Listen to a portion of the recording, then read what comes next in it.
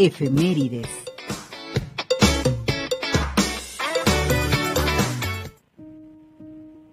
...17 de agosto de 1848... ...Yucatán se reincorpora a la República...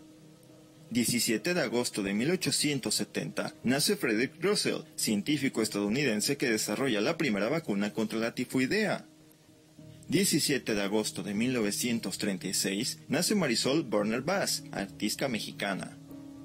17 de agosto de 1943 nace Robert De Niro, actor estadounidense ganador de dos premios Oscar.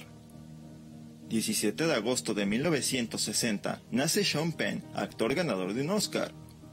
17 de agosto de 1969 concluyó el Festival de Woodstock, uno de los más legendarios conciertos que congrega más de 500.000 aficionados.